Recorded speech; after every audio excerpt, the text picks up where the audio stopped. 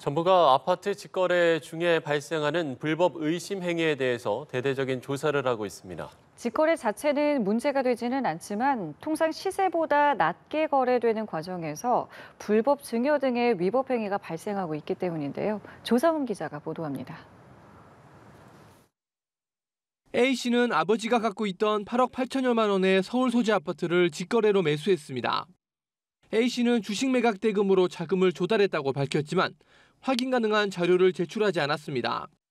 B씨는 어머니가 소유한 서울 초고가 아파트를 27억 원에 직거래로 구매했습니다. 그런데 B씨는 잔금 시기에 맞춰 원주인인 어머니와 임대차 계약을 맺고 10억 9천만 원을 받아 거래 대금으로 사용했습니다. 국토부는 A씨와 B씨 모두 증여세 회피 의도가 의심된다며 국세청에 통보했습니다. 국토부는 전국 아파트 거래에서 직거래가 차지하는 비율이 늘고 직거래 시 이상 동향이 확인되면서 기획조사를 진행 중입니다.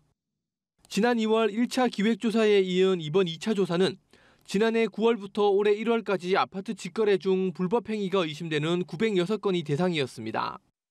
국토부는 조사 결과 182건의 거래에서 위법 의심 행위 201건을 적발해 국세청과 경찰청 등 관계기관에 통보했습니다.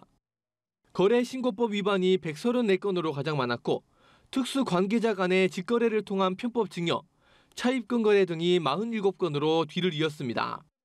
정상적인 시세가 아니고 통상 이제 시세보다 이제 낮은 가격에 이제 직거래하는 경우가 많아서 시세를 혼란시킬 수 있기 때문에 시장 가격을 교란할 수 있기 때문에 그 부분을 저희가 차단하기 위한 거고요.